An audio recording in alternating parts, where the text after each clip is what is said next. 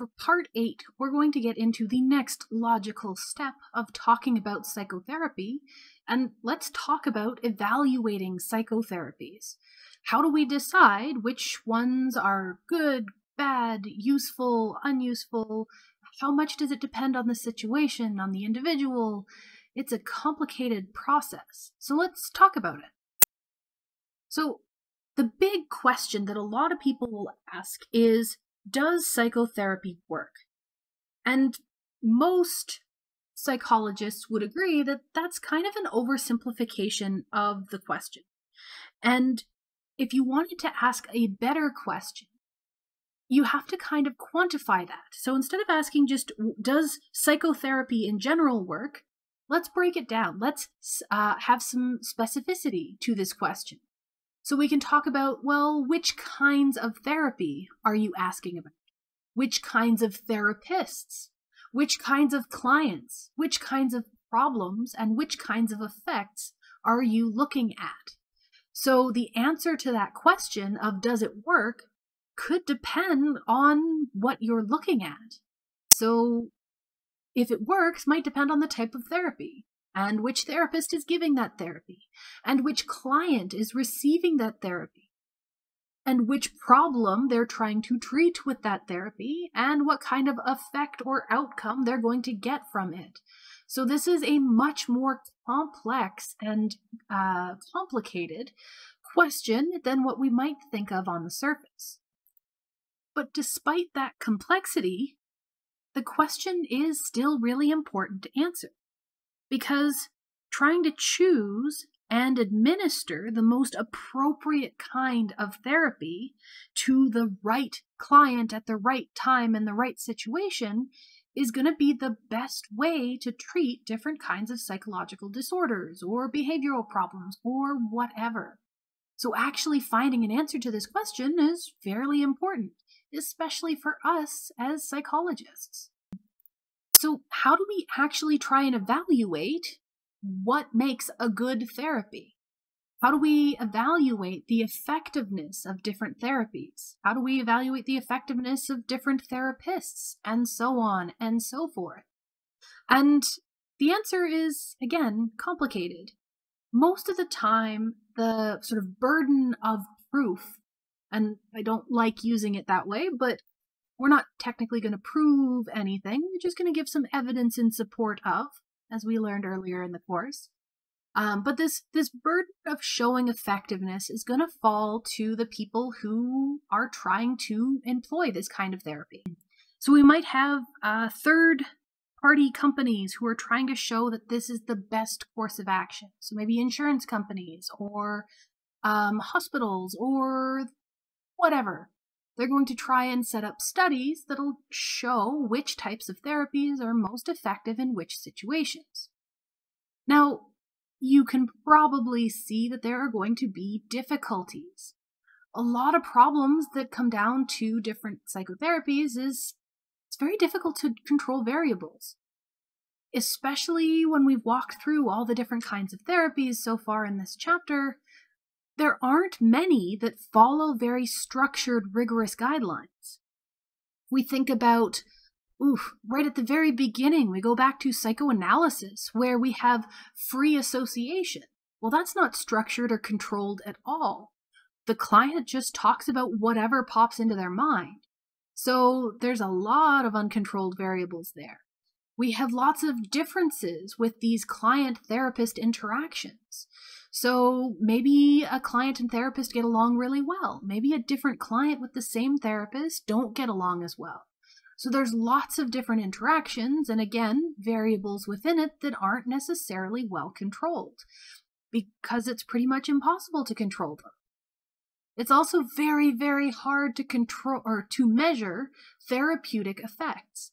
How do you determine if a therapy was effective? How do you quantify how much better someone's social skills are? Or how do you quantify how much better your relationship with your mother is? These are very difficult to measure and to quantify, and you kind of have to quantify them to compare them to other people in other situations. And you have a problem of who's measuring these outcomes? Is the client going to self report on how much better they're feeling? Is the therapist going to report on how well the client did? Is some third party going to evaluate both of them? All of this is going to affect what we get as an outcome. It's all going to affect the data that we receive, and therefore it's going to affect the conclusions that we draw from that data.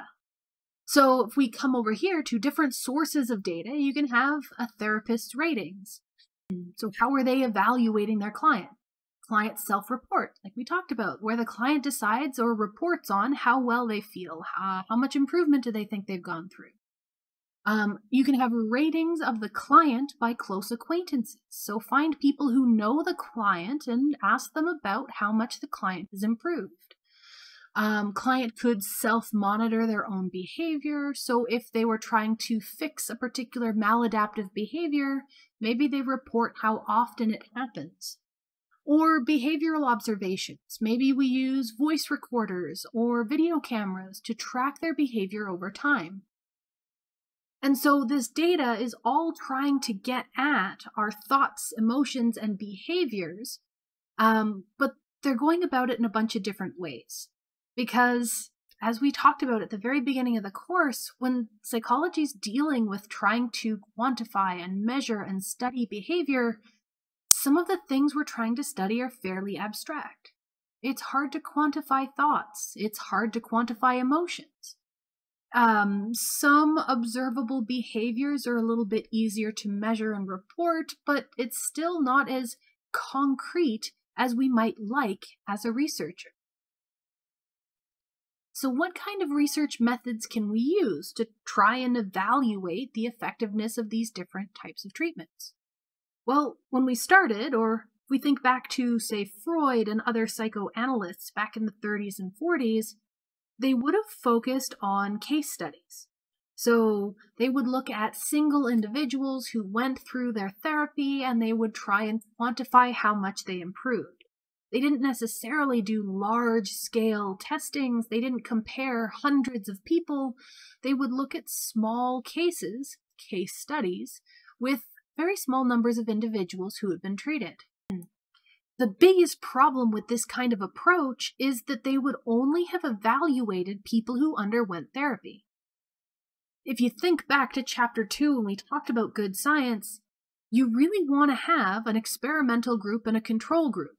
You want to have a group that went through therapy and a group who didn't go through therapy and you want to compare the level of improvement of those who weren't treated in therapy and those who were treated in therapy to make sure that therapy was the thing that differed between the groups and therefore was probably causing the improvement. But with case studies, they would only look at how these individuals changed over time.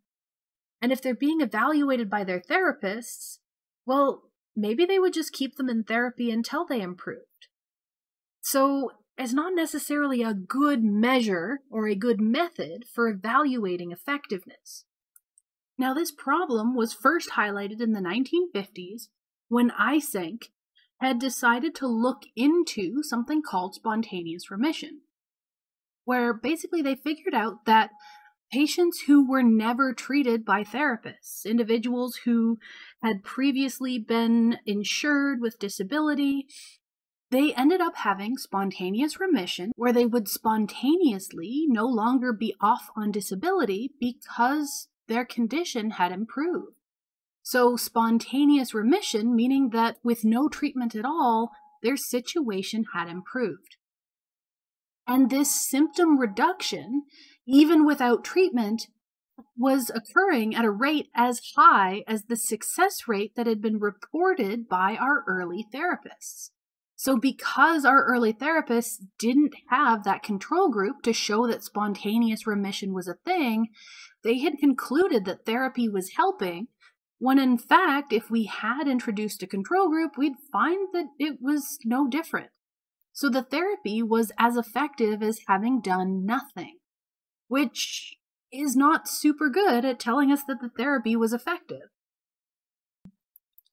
And so this conclusion has sort of led through the years of different standards that help ensure that re- uh, reports of success are actually backed by sound science. So when we ask the question, does therapy work? We know that there are APA guidelines, or the American Psychological Association, who have taken it upon themselves to make sure that any studies that claim that a therapy is effective have been conducted as good science, where they haven't forgotten to include a control group or something silly like that. So we have more confidence now that when someone reports that a therapy is effective, that that conclusion has been drawn from actual solid scientific research. And by having that knowledge and having that good science, we can now start evaluating which therapies are going to be effective in treating which disorders. So, what makes a good research setup to evaluate the effectiveness of a psychotherapy? Now, this is going to be quite a bit of refresher from chapter 2, so we won't spend too too much time on the details here because we've already done this. But to be a good study, a good design, we want something has randomized clinical trials. So we want that random assignment of clients to be in either the experimental or the control group. We want to have people who receive the treatment, and we want to have people who are a control in some way. And we have three different types of control groups that are commonly seen in these sorts of experiments. So, one would be a no treatment group. So, a group that doesn't get treatment, they don't do anything, they're just there. So, that would be like um, Eysenck comparing um, individuals who had been through therapy versus spontaneous remission of people who had no treatment at all. Um, another type of control group would be our placebo control condition. And in this case, instead of being given nothing, the placebo group would be given some sort of treatment that shouldn't have any effect on their behavior, but doesn't allow the individual to know that they're not receiving treatment. So, in drug trials, you would have a sugar pill as a placebo. So, an individual in the study doesn't know if they've received a pill that is the actual drug being tested or if they've received a sugar pill. And by controlling for the client's expectations, for them thinking that they're being treated, then you can remove or control for extra variables. So a placebo control condition can be effective though it isn't always possible. Um, if your treatment is something like talking to a therapist, it's kind of hard to have them fake talk to a therapist. So maybe there are ways to make that work. Um, or we can also have control groups where they compare to some other effective treatment. In a lot of cases, they'll compare uh, the treatment of interest being a new treatment, something that they're trying to show the effectiveness of, and they would compare it to the existing accepted treatment. That might be some other kind of effective treatment that you can compare it to. And a lot of times you'll see this set up specifically when it isn't ethical not to treat someone. So it isn't ethical to not give someone treatment for a disease that is treatable. So, in that case, your quote unquote control group is still going to be receiving a treatment, but it's a treatment that's already been established in its effectiveness, and then we're comparing a new treatment to the existing treatment, if that makes sense. Now, like I mentioned, the APA has gotten involved in all of these kinds of tests. So, the APA guidelines for our randomized clinical trials state that you have to have standardized procedures. So the treatment has to follow a very predictable pattern, and the procedure has to be followed exactly. So you would probably have a script that you need to read for each individual that you interact with. If you're giving a pill, it has to be given at the same time of day, by the same person, in the same manner. Um, so you have to control and standardize as much of the scenario as possible. Um, they also require that the sessions are either taped or observed by someone external to the experiment.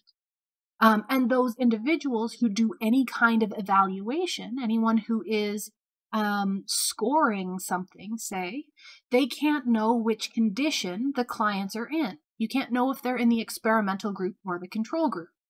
Um, and it says here that that's going to minimize our experimenter bias. So this would be something like a double blind um, where hopefully you would have set it up so that the client doesn't know if they have the uh, placebo or the actual treatment. You also want to make sure that the researcher, the person doing the measuring or observing, also doesn't know if they're in the experimental or control groups. And they also specify that there should be some measure of improvement that has to be behavioral. So there has to be some kind of external measure of improvement. This ties into the next point, which is that there needs to be some kind of follow up data. So we want to evaluate the effectiveness of this treatment over time. It doesn't matter if it was effective while the treatment was being administered.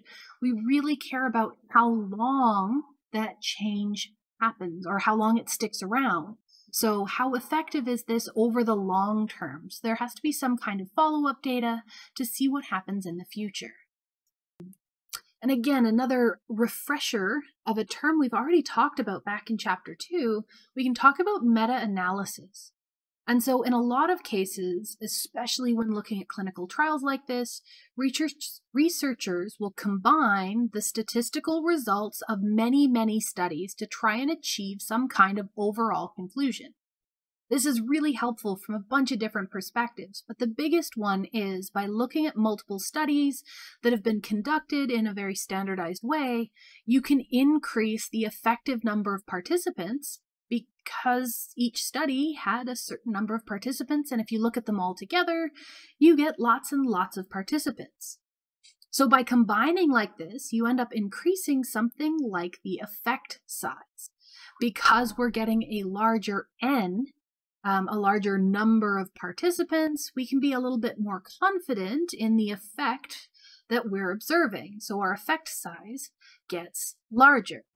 And because our effect size is telling us what percentage of clients receiving a therapy had a more favorable outcome than the average control client, having a larger effect size is telling us that this therapy is more effective, that we're more confident that it is a beneficial therapy. So a large effect size is a good thing. Now, the graph on the screen here is talking or is summarizing the data from one particular meta analysis. And this meta analysis combined almost 400 different studies of psychotherapy, um, broken down by different types of psychotherapy to try and compare the effectiveness of these different types of therapy. And interestingly, we can see that all of our therapies seem to fall in about the same range, somewhere between, say, 57, 58% and 82% improvement. So, about uh, 60 to 80% of individuals who received treatment ended up improving more than the average control patient. And this is across all sorts of different kinds of therapies. We have psychodynamic, client centered, gestalt, systematic desensitization, and operant behavior modification.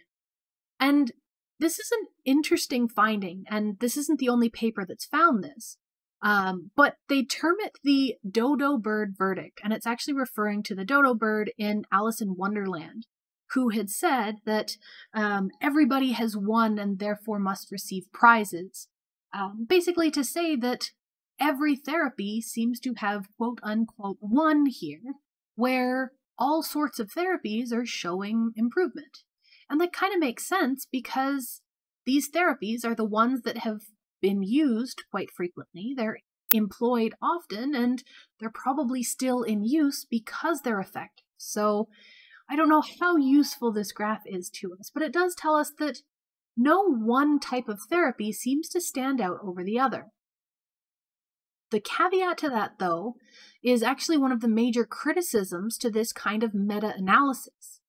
And that's the idea that condensing sort of multiple studies, multiple papers, multiple research uh, into this single meta analysis ends up losing us some really important information. So, specifically, it might be masking the differential effectiveness or the fact that uh, specific therapies might be more uh, effective at treating some specific clinical disorders but not others. So, by looking at the big picture like this, it tells us that they're all fairly effective overall, but it doesn't give us that fine grained idea of which specific therapy is most effective for which specific disorder. So there are, of course, many, many studies that we can look at if we wanted to evaluate um, specific therapy that works best with particular disorder, but um, they're going to be much smaller studies that have much smaller n's or numbers of participants than the giant meta analyses, just in the nature of now, the next thing that we want to talk about is actually a really important one to discuss, and this is the idea of clinical significance. And so, clinical significance requires that at the end of, a, of therapy, the client seeking treatment for that disorder of interest um, at the end falls within the range of those who are not experiencing the particular problem, which is a fancy way of saying that if someone goes to therapy for depression, that at the end of their treatment, they should score as uh, non depressed as those who don't go to therapy seeking treatment for depression. So we're saying that the treatment should really only be considered successful if we can reduce or mitigate the thing that brought them to therapy in the first place. And this is really, really important as someone who is a little bit of a statistics nerd, where yes, you may find that your experimental group is significantly more improved than your control group, but if that improvement isn't actually an improvement in the individual's life, if it doesn't matter in the real world, then it's statistically different, but it isn't um, sort of practically different. There isn't a clinical significance to it. That difference doesn't really mean anything in the real world. And so that's what this idea is getting at, where if we're looking for clinical significance, then we want there to be some kind of tangible, useful change in that individual's life, and not just a statistical change that isn't necessarily going to influence them in their real all right, now let's switch directions just a little bit here. Now, we've talked about how do we evaluate the effectiveness of different therapies, and it's sort of as clear as mud. But let's move on and talk about which factors actually affect the outcome of therapy. And so the textbook breaks it down into three broad categories. We have therapist variables, client variables, and techniques. And we're going to talk about each of these separately. So let's start with our client variables. As a client, they should have openness, which is going to be a willingness to invest in the to invest themselves in therapy. They have to want to be there. They have to be committed to being in therapy. They have to be open to it. And they have to be willing to take risks. So they have to put themselves out there. They have to be willing to make that change to try and make therapy work. Um, the client should also have a degree of self relatedness. And here, um, it's supposed to be self relatedness, which is the ability to uh, experience and understand their own internal states. So, someone who is seeking therapy should have the ability to sort of evaluate their own internal processes. So, uh, understand what's going on internally. Um, for a client to effectively have a good outcome from therapy, they should also be attuned to uh, process, sorry, processes um, that are going on in their relationship with the therapist. So they have to sort of follow along with what the therapist is doing, what they're trying to accomplish, and eventually they want to be able to apply what they learned in therapy to their lives.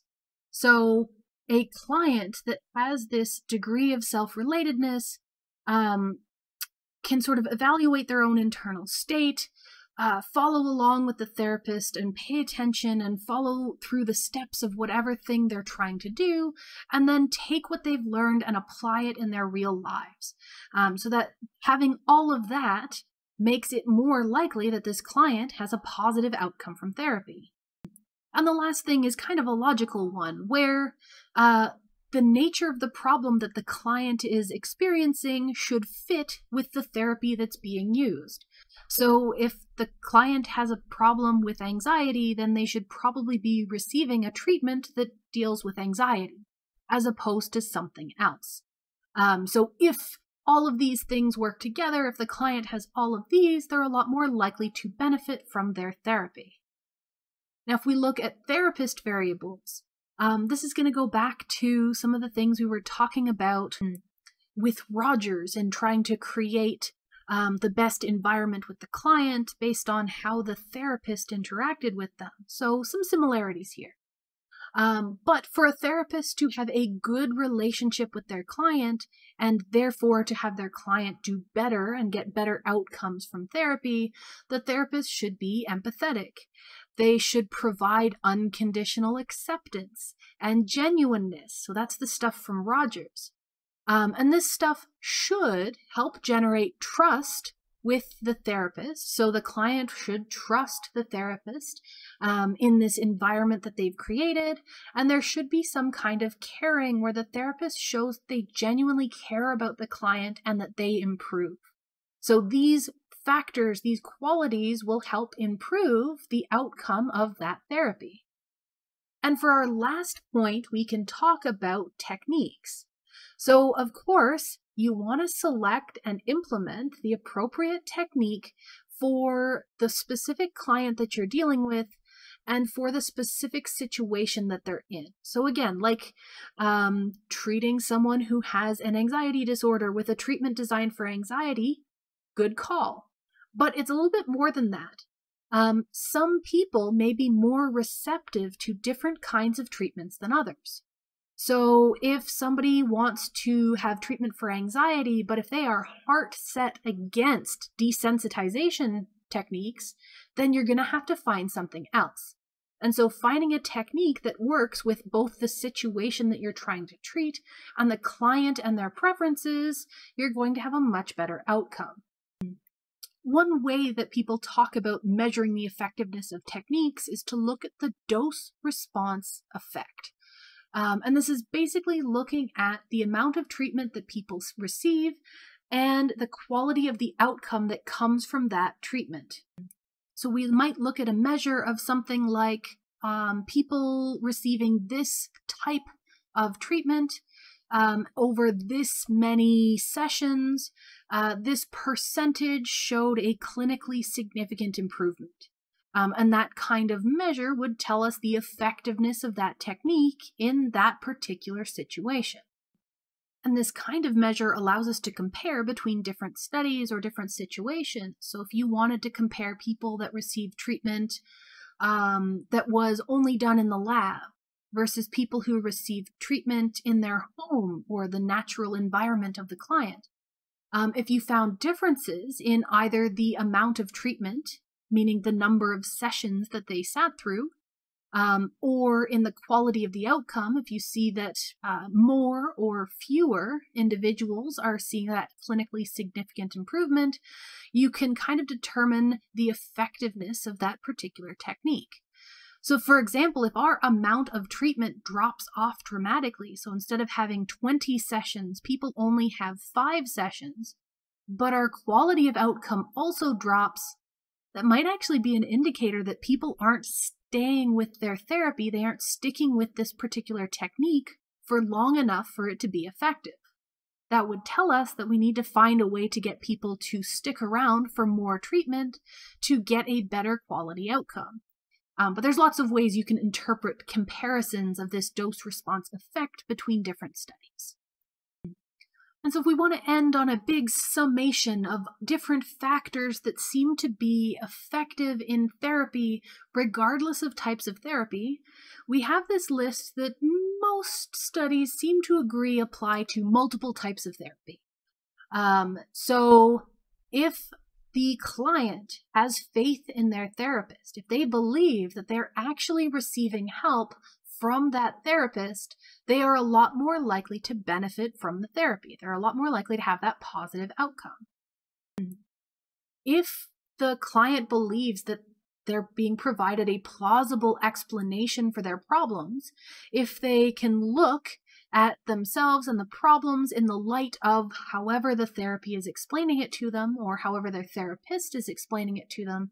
Um, if they find it plausible, if they believe that this might be a reasonable explanation, again, it's a lot more likely to help them. Clients are a lot more likely to have positive outcomes if the setting is protective, if they feel safe and comfortable and supported in that relationship with their therapist then they're going to benefit from that therapy a lot more. Um, individuals receiving therapy do a lot better if they have the opportunity to practice the new behaviors that they've learned in therapy. So, if they have a chance to actually try out the different techniques that they've been taught in therapy, if they use it more, they're going to benefit more. And of course, individuals that are more optimistic or have a higher level of self efficacy, if they believe that they have a chance to make this work, if they have a more positive outlook on the therapy, it is, of course, more likely to work.